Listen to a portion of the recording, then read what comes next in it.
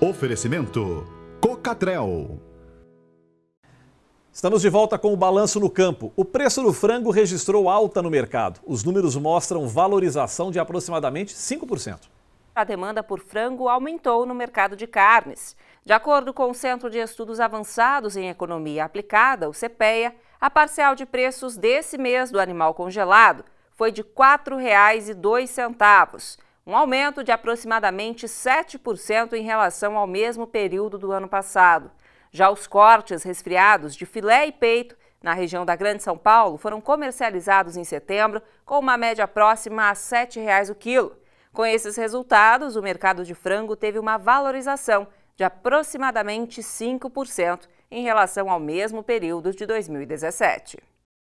O aumento da procura por ovos caipiras tem surpreendido a ponto de uma grande rede de supermercados decidir vender apenas esse tipo de ovo num prazo de 10 anos.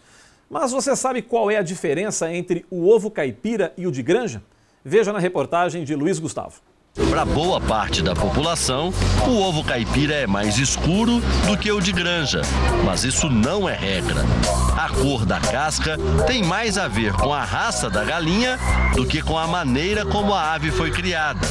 Com a gema, a situação é diferente. Galinha de granja vive presa e só come ração. A caipira fica livre e se alimenta também de pequenos insetos e plantas. Isso costuma aumentar a pigmentação da gema. Pelo país, a galinha caipira recebe outros nomes. No sul, é conhecida como colonial, enquanto no norte e no nordeste é chamada de capoeira. Mas, independentemente do nome, a preferência pelos ovos caipiras deve crescer. Segundo uma pesquisa encomendada por uma organização de proteção aos animais, 81% dos entrevistados dizem se preocupar com a forma como os bichos são tratados pela indústria alimentícia. Hoje, a maioria da população, quando perguntada a respeito, ela já diz que ela preferiria que ela consumisse um produto, mesmo que fosse um pouco mais caro caro, mas que não tivesse crueldade animal. O assunto veio à tona depois de uma grande rede de supermercados anunciar que até 2028 não vai mais comercializar ovos industrializados, ou seja, produzidos em grande escala. Nas granjas, as aves vivem presas. Além disso, a maioria dos criadores usa antibióticos e substâncias para acelerar o desempenho. Tudo isso para evitar doenças e aumentar a produção. Não há comprovação científica de que esses componentes façam mal à saúde. Mas alguns países, como os Estados Unidos, decidiram impor a redução na quantidade desses aceleradores ofertado comida 24 horas, eles só comem. A ração ela é totalmente manipulada, vai adição inclusive de corante para deixar a gema mais amarela. As galinhas caipiras podem ciscar à vontade. A ração delas é vegetal, então basicamente milho e soja. Não tem aditivos como hormônios e corantes.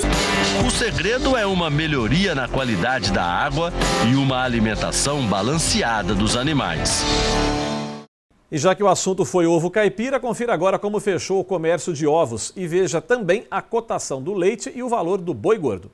Arroba do Boi Gordo, em Três Lagoas, no Triângulo Mineiro, fechou o dia cotada a 141 reais à vista. 30 dias, 143 reais. O litro do leite tipo C no sul de Minas está cotado a R$ 1,28. A caixa com 30 dúzias do ovo branco está cotada a 70 reais em Tupã, no interior de São Paulo. Já o ovo caipira está cotado a R$ 8,23 em Cristalina, no interior de Goiás. E agora uma notícia não muito boa para todo mundo que gosta de comer um bom pãozinho pela manhã, né?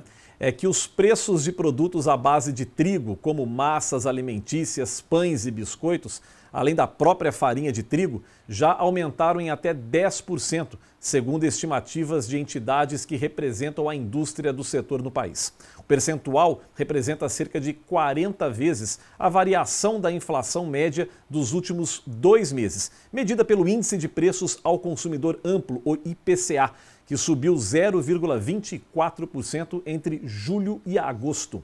A principal explicação para a inflação dos alimentos à base de trigo está na dependência externa que o Brasil tem do produto, combinada com as recentes oscilações do dólar e do preço do produto no mercado internacional. O trigo é um dos poucos grãos que o Brasil tem que importar de outros países para abastecer o mercado doméstico.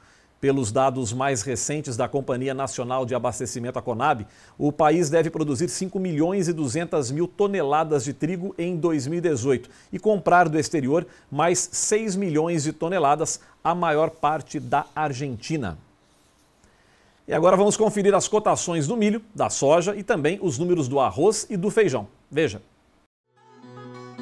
A saca de 60 quilos do milho seco em Assis, no interior de São Paulo, ficou cotada a R$ 33,70.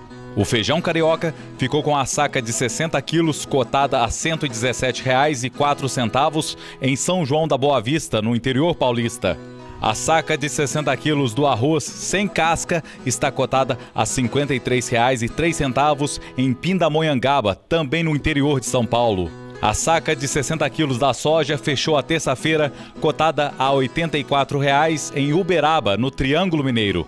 Já a saca de 60 quilos do trigo em grão nacional está cotada a R$ 55,68 em Itapetininga, no interior de São Paulo.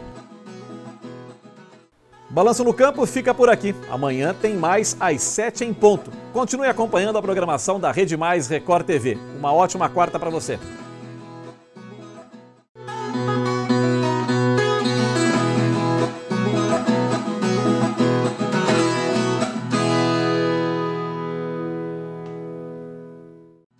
Oferecimento Cocatrel.